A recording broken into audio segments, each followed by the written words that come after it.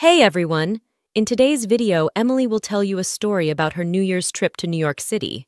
You'll learn some useful vocabulary and expressions that are commonly used in everyday conversations. This will also be a great opportunity for you to practice and improve your English listening and speaking skills. Listen carefully. Hello, my name is Emily. I was so happy when my best friend Sarah and I planned a trip to New York City for New Year's. We've wanted to go there for a long time. When we arrived at JFK Airport, the city was so busy and full of bright lights. We stayed in a nice hotel in Times Square. Our room had a great view. The city was getting ready for a big New Year's Eve party, and we were excited to join in. During the day, we visited famous places like the Statue of Liberty, Central Park, and the Empire State Building. Everywhere we went, we found something new and took lots of pictures. On New Year's Eve night, Times Square was so exciting. There were many people from all over the world. Sarah and I found a spot in the crowd to see the ball drop. At midnight, there were fireworks in the sky and everyone cheered. It was amazing to see confetti falling and everyone celebrating. Sarah hugged me and we made our New Year's wishes together. We felt happy about our friendship and this great experience. After the party, we walked back to our hotel, talking about the awesome night. We talked until we fell asleep, excited about more adventures in the city the next day. Our trip to New York City for New Year's was a dream come true. I'm so glad I got to welcome the new year with my best friend in this incredible city. Before we begin our speaking practice, let's learn some new words and expressions from our story. Understanding these will help you improve your English skills. Bustling means a place full of lively activity. Example, the market was bustling with shoppers and vendors. Dazzling means very bright and impressive, like shining lights. Example, the stage lights were dazzling during the concert. Vibrant means full of energy and color. Example, the garden was vibrant with colorful flowers. Anticipation means feeling excited about something that is going to happen. Example, the children waited in anticipation for the arrival of the ice cream truck. Countdown means the act of counting backward from a specific number to zero. Example, we did a countdown from five to start the game. Magical means something extremely beautiful or extraordinary, like a fairy tale. Example, the snow falling on Christmas Day felt magical. Reminisce means remembering or talking about past enjoyable memories. Example, Grandpa likes to reminisce about his childhood adventures. Snuggle means getting close and cozy, often while hugging. Example, the kittens snuggled together for warmth. Cherish means feeling something is very valuable or important and wanting to keep it. Example, I cherish the handmade card my friend gave me. Unforgettable means something so memorable that it won't be forgotten. Example, our family trip to the beach was unforgettable. Now it's time to speaking practice.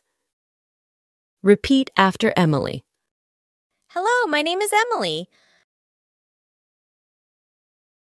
Hello, my name is Emily. I was so happy when my best friend Sarah and I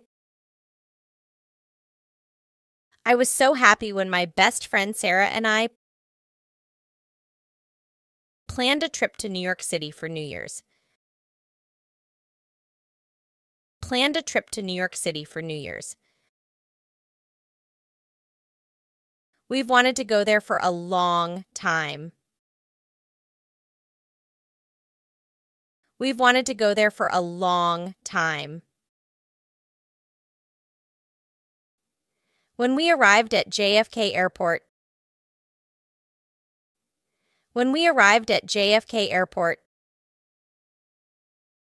the city was so busy and the city was so busy and full of bright lights. Full of bright lights. We stayed in a nice hotel. We stayed in a nice hotel in Times Square. In Times Square. Our room had a great view. Our room had a great view.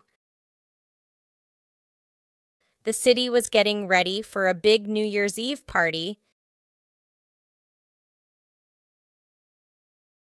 The city was getting ready for a big New Year's Eve party. And we were excited to join in. And we were excited to join in. During the day, During the day, we visited famous places. We visited famous places like the Statue of Liberty, like the Statue of Liberty, Central Park, and the Empire State Building. Central Park, and the Empire State Building. Everywhere we went, we found something new. Everywhere we went, we found something new and took lots of pictures. And took lots of pictures. On New Year's Eve night, on New Year's Eve night, Times Square was so exciting. Times Square was so exciting. There were many people from all over the world. There were many people from all over the world. Sarah and I found a spot in the crowd.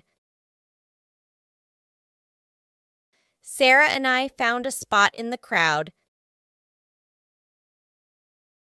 to see the ball drop. To see the ball drop. At midnight, there were fireworks in the sky. At midnight, there were fireworks in the sky. And everyone cheered. Everyone cheered. It was amazing to see confetti falling It was amazing to see confetti falling and everyone celebrating. And everyone celebrating. Sarah hugged me. Sarah hugged me,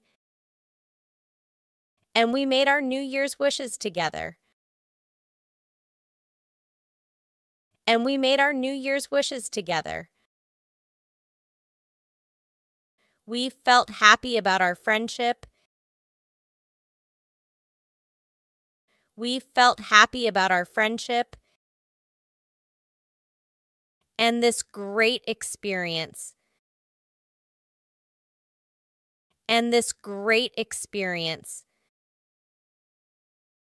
After the party, we walked back to our hotel.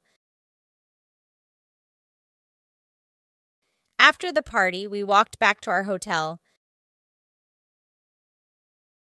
talking about the awesome night. Talking about the awesome night. We talked until we fell asleep. We talked until we fell asleep.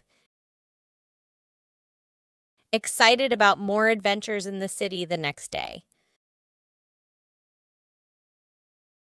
Excited about more adventures in the city the next day.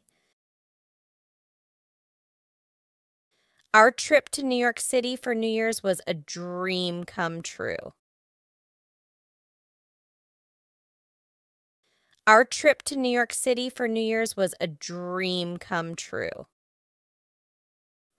I'm so glad. I'm so glad I got to welcome the new year with I got to welcome the new year with my best friend in this incredible city. My best friend in this incredible city. All right, let's listen to the story one more time. Hello, my name is Emily. I was so happy when my best friend Sarah and I planned a trip to New York City for New Year's. We've wanted to go there for a long time. When we arrived at JFK Airport, the city was so busy and full of bright lights. We stayed in a nice hotel in Times Square. Our room had a great view. The city was getting ready for a big New Year's Eve party, and we were excited to join in. During the day, we visited famous places like the Statue of Liberty, Central Park, and the Empire State Building. Everywhere we went, we found something new and took lots of pictures. On New Year's Eve night, Times Square was so exciting. There were many people from all over the world. Sarah and I found a spot in the crowd to see the ball drop. At midnight, there were fireworks in the sky and everyone cheered. It was amazing to see confetti falling and everyone celebrating. Sarah hugged me and we made our New Year's wishes together. We felt happy about our friendship and this great experience.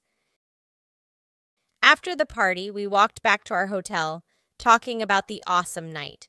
We talked until we fell asleep, excited about more adventures in the city the next day. Our trip to New York City for New Year's was a dream come true.